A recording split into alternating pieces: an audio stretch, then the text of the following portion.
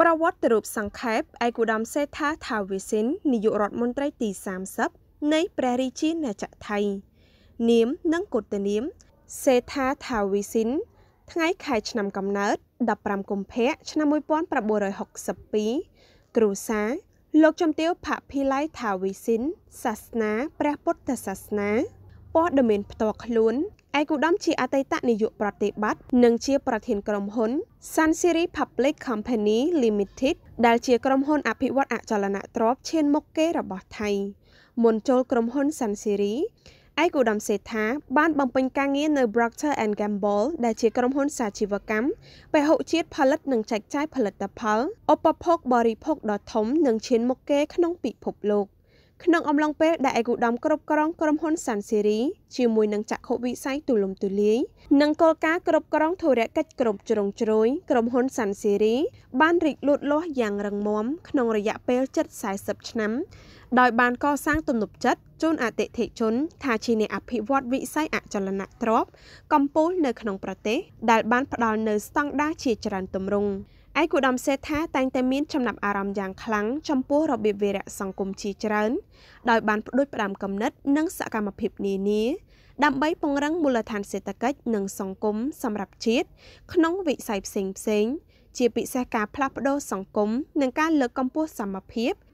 និងភាពចម្រុះនៅក្នុងសង្គមរួមទាំងគម្រោងជាច្រើន ដែលពាក់ព័ន្ធនឹងកុមារនិងយុវជន ការអប់រំ បរិញ្ញាបត្រផ្នែកសេដ្ឋកិច្ចពីសាកលវិទ្យាល័យ Massachusetts សហរដ្ឋអាមេរិកបរិញ្ញាបត្រជាន់ខ្ពស់ផ្នែកគ្រប់គ្រងធុរកិច្ចជំនាញហិរញ្ញវត្ថុពី Claremont Graduate School សហរដ្ឋអាមេរិកការងារឆ្នាំ2023នាយករដ្ឋមន្ត្រីនៃព្រះរាជាណាចក្រថៃ ប្រធានទីប្រឹក្សានៃគ្រួសារគណបកភឿថៃ អ្នកផ្ដល់ប្រឹក្សាយោបល់នៃក្រមសេដ្ឋកិច្ចរបស់គណៈបកភឿថៃបេក្ខភាពនាយករដ្ឋមន្ត្រីមួយរូប របស់គណៈបកភឿថៃ3មេសាឆ្នាំ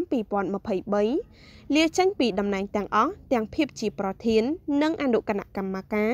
នៃក្រុមហ៊ុនសានសេរីរួមទាំងប្រធានគណៈកម្មាធិការវិនិយោគនិងសមាជិកនៃគណៈកម្មាធិការគ្រប់គ្រង សាជីវកម្មប្រកបដោយចីរភាព ឆ្នាំ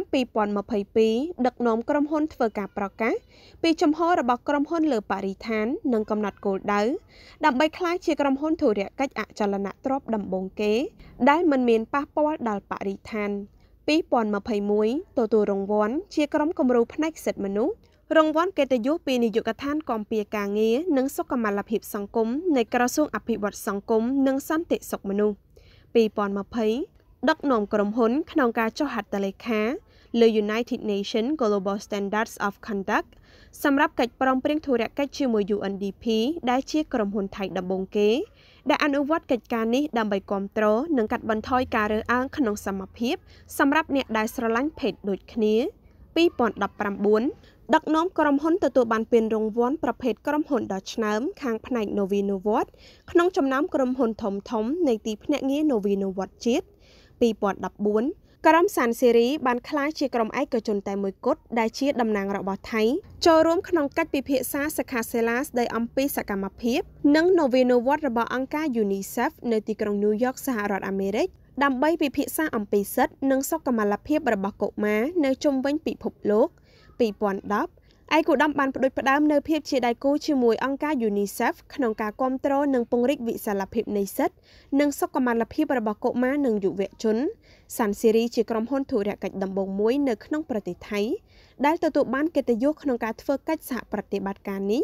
ដែលបានដំណើរការក្នុងរយៈពេល10ឆ្នាំរហូតដល់ចុងឆ្នាំ2020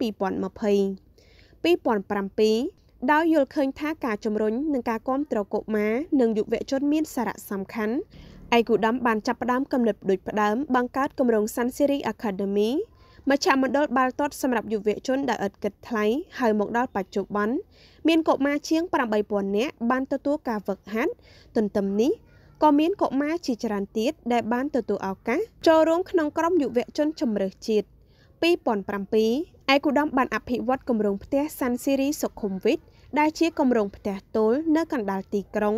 ដែលទទួលបានការទទួលស្គាល់ និងបានទទួលរង្វាន់ជាគម្រោងស្នាក់អាស្រ័យដ៏ល្អបំផុតរបស់អាស៊ីនៅក្នុងឆ្នាំ2006ឆ្នាំ1995ក្រោមការគ្រប់គ្រងរបស់ឯកឧត្តមសាន់ស៊ីរីត្រូវបានចុះឈ្មោះនិងប្រែក្លាយទៅជាក្រុមហ៊ុនសាធារណៈមានកំណត់និងបានបន្ថែមការចុះបញ្ជីទុនក្នុងទឹកប្រាក់100លានបាត់បន្ថែមទៀត ឆ្នាំ1994ឯកឧត្តមបានណែនាំឲ្យផ្លាស់ប្តូររចនាសម្ព័ន្ធនៃការកាន់ភាគហ៊ុន ហើយក្រុមហ៊ុនត្រូវបានផ្លាស់ប្តូរឈ្មោះជា Sun Series Co Ltd ឆ្នាំ1990ចាប់ផ្ដើមចូលធ្វើការក្នុងក្រុមហ៊ុន Samsaran Holding Company Limited